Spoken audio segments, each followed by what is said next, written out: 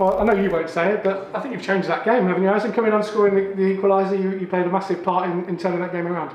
Yeah, I'm buzzing, buzzing for the boys to get the win, first win in the championship, and yeah, buzzing to also get off the mark for my for myself. Yeah, what did the manager say? Because obviously in the eight, I think it was 83 minutes on the clock, he, he's took Beevers off, he's, he's moved Butler across, obviously gambling to try and get something from the game. But what did he say to you? Just go on and, and get the ball and get it in the box? Yeah, so we're 1 0 down, and he just said, stay high, play more as a winger, even though I was coming on as a wing back, and just do what you can, get a goal, do what you can in them games. You've got to come on just make an impact when you come on.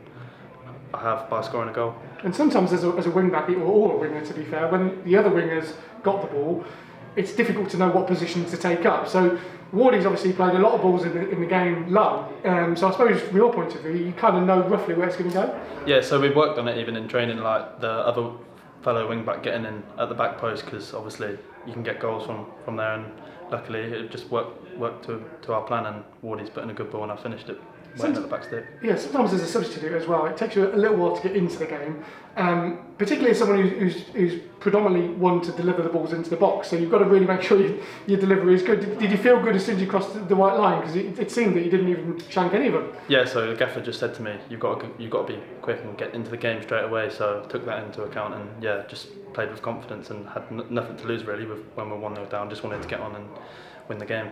And of course, when it goes to 1 1, not too much celebrating going on. You, are running back to the centre circle. Ty's gone to get the ball. You obviously knew there was a, a, little bit of time left. Did you feel at that point that you were running all over Derby? Yeah, well, I come on.